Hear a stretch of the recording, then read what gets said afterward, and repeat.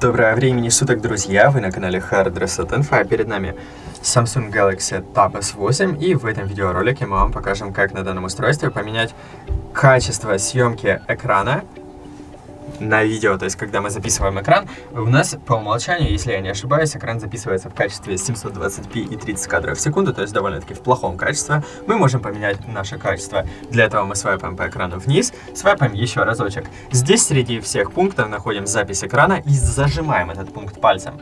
После чего мы попадаем в настройки записи экрана. Здесь выбираем пункт «Запись экрана» и нажимаем «Качество видео». Мы можем здесь сделать высокое качество записи видео можем включить или выключить показания, э, показать касание и так дальше. Больше видео об этом устройстве смотрите у нас на канале. Подписывайтесь, ставьте лайки и всего хорошего. До свидания.